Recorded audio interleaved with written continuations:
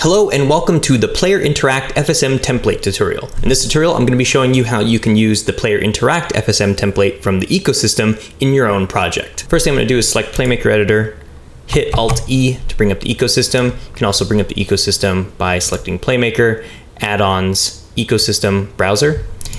Then I'm going to go over here to Filter, select Templates, and hit Browse. We already have Player Move and First Person Look templates in here, so lastly I'm just going to add this Player Interact just by hitting this get button. So I'm gonna hit import, I'm gonna close this, select our player, come down here and add a new FSM, hit edit, select this FSM, hit the little dot dot dot, find my player interact template, select it.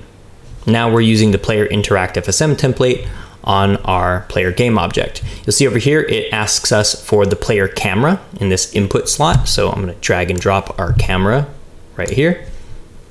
And let's just click to edit so we see what's happening inside of here. We have a get button down action here, which is using the fire one axis, which by default should be mapped to mouse clicking, a left mouse click. You can change this to whatever you want. And that will send us over here where it does a ray cast.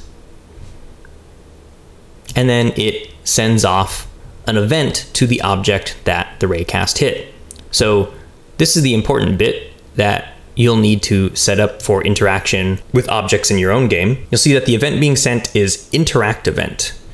Come over here to my events tab. You'll see it's a global event, interact event.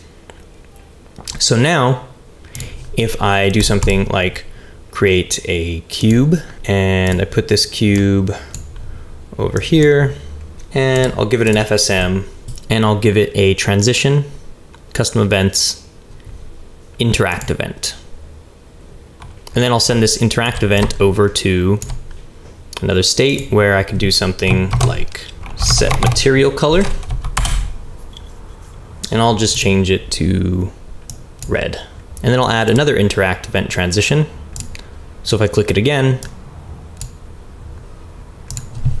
this time the set material color, we'll set it to blue. So by default, it should start off as blue and then it'll go back and forth. Okay, so I can hit play.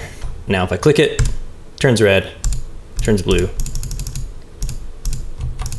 So, so that's how this player interact FSM works. Anything that you want the player to interact with, the thing that should make the item or object in the world do its thing, whether you're opening a door, turning on or off a light, or interacting with an NPC, the thing that triggers that should just have a little interact event that sends off to the rest of those states that do whatever it is that you've programmed it to do. Okay, and that's how you can use the Player Interact FSM template from the ecosystem in your own games. Be sure to check out our other videos to learn all the various features of Playmaker. Links to more learning resources are in the description.